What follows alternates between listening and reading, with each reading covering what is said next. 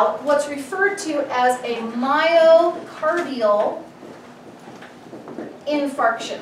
Somebody tell me what that stands for.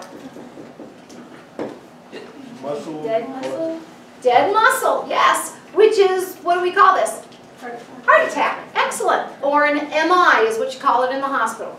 So what the heck causes this muscle to die? Okay, so now, if we looked in the aorta, okay, inside the aorta there is a small opening.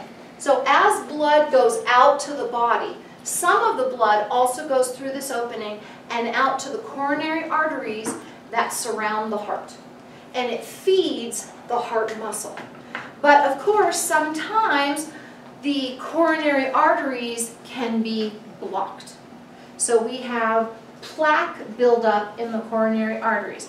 And of course, cardiovascular disease, heart attacks, and stroke are the number one killers in the United States. I mean, when COVID was going on, we had so many deaths that COVID kind of superseded that, but it has calmed down. And so now we're back to, woo, cardiovascular disease being a big issue.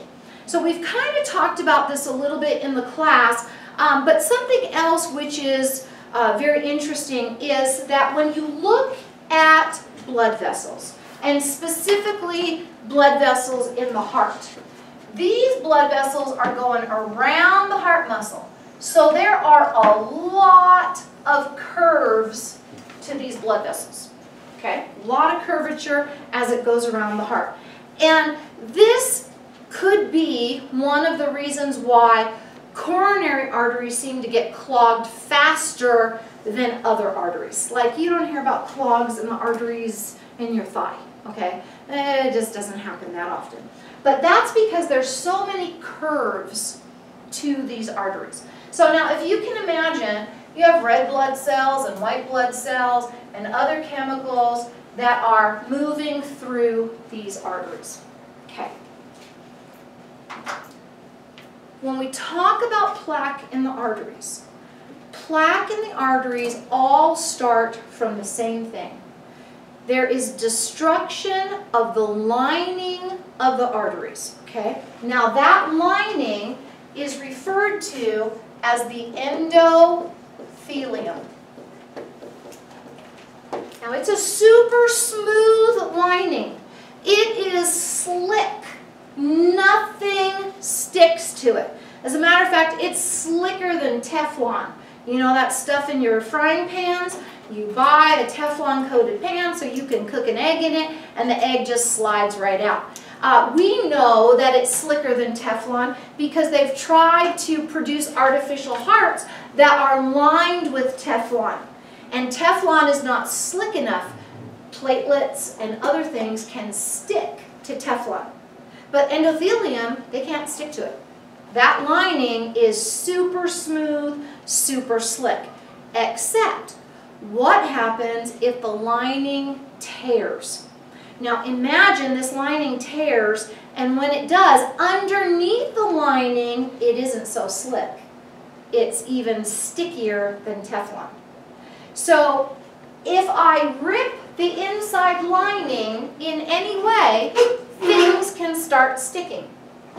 And it seems to be that wherever the curvature is, it seems to rip more often somewhere right around here. And I always kind of say, okay, think about like, have you ever watched a, a NASCAR race or, you know, Indianapolis 500 where the cars are going around the track? Where are they most likely to skid out and hit the wall? Well, as they come around the curve, right? Mm-hmm. It's the same thing here. So let's think about this. What if I have a patient who has high blood pressure, for instance? high blood pressure, high heart rate, the red blood cells are moving really fast. So they're like those NASCAR, okay? And now, instead of only going 50 miles an hour around the curve, they're moving so fast they're going 150 miles an hour around the curve. Now these red blood cells can come around and they start hitting the wall. And the red blood cells themselves can tear the endothelial lining. Now, white blood cells, when the endothelial lining is torn, they don't like it, and they want to heal it. And they think, huh, how can we heal that lining? Oh, I know. Let's bring in a whole bunch of cholesterol and let's bring in a whole bunch of fat and we'll kind of use it like putty, you could say. And we'll try to put it underneath the wall, not actually on the wall, but we'll dig underneath the wall of the red blood or the uh, blood vessel and we'll start to try to heal it from the inside and fix where it's torn.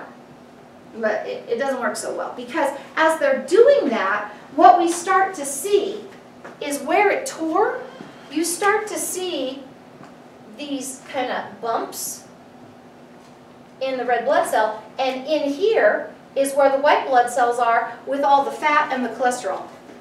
Now look what just happened to the size of your blood vessel. It narrowed. It got a little bit smaller. And my red blood cells are still going 150 miles an hour around the curve. And guess what happens when it narrows? When I narrow the racetrack, the likelihood is those red blood cells are going to crash and burn even better and faster.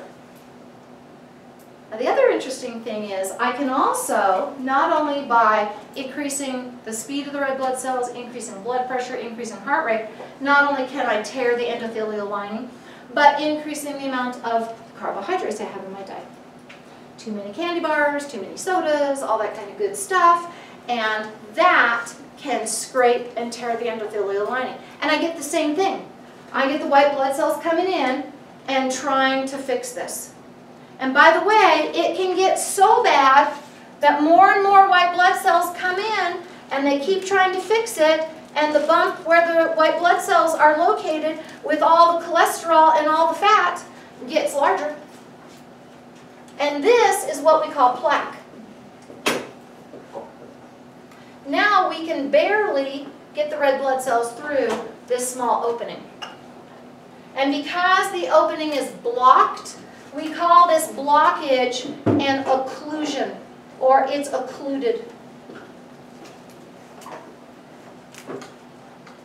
And I can have 95% blockage, 100% blockage, Oh, and by the way, this wall also is very weak. It's not as strong as it used to be. It's weakened by all those white blood cells and it's weakened by all that fat and cholesterol and it can actually explode.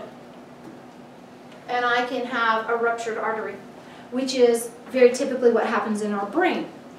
You get an artery that ruptures and now we have a stroke. They don't rupture so often in the heart, although they can. Most of the time they just close off.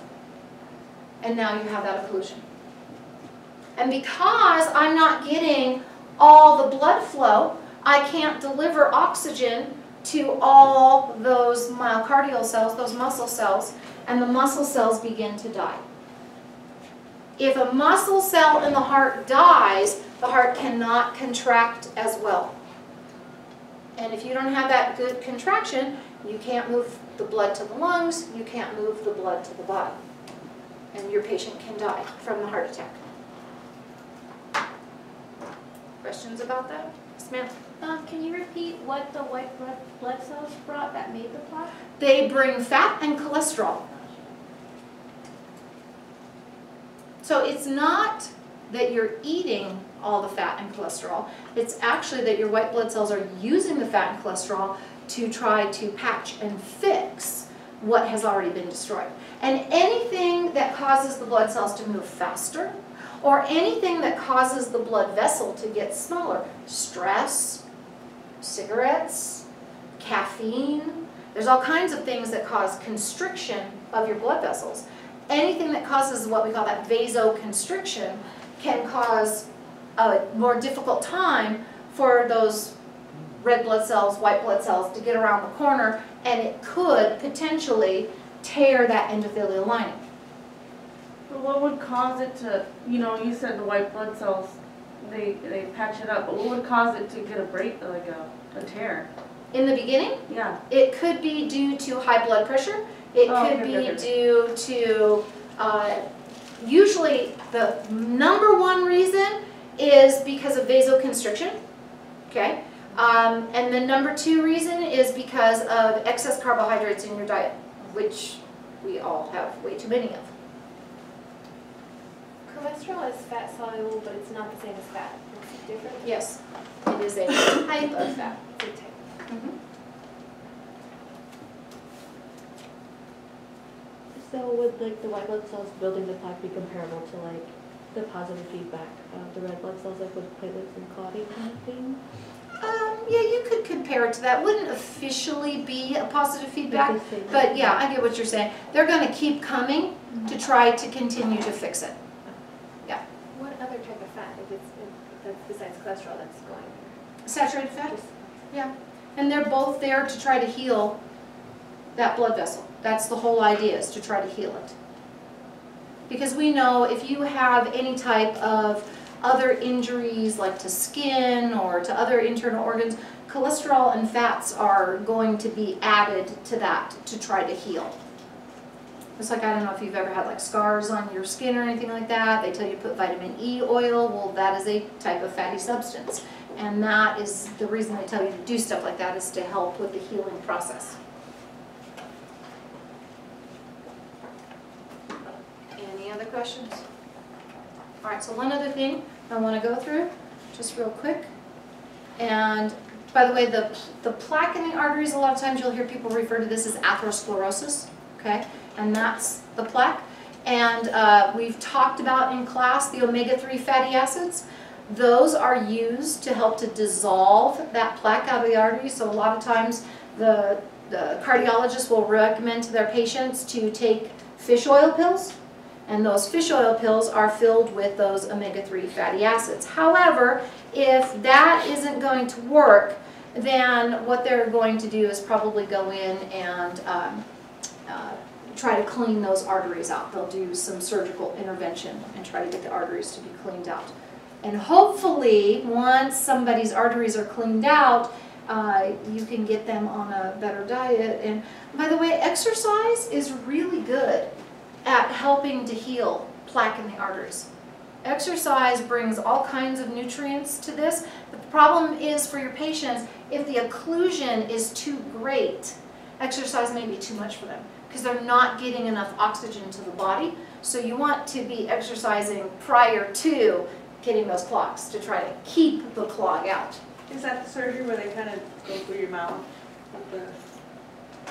No, uh, usually what they're going to do is they're going to go with a uh, catheter up through the femoral artery and then thread it up through the femoral artery and into the aorta and from the aorta thread it into the coronary artery that's blocked and then what they do is they open up, uh, at the tip of that catheter is a balloon and they open up the balloon and they try to push open that artery.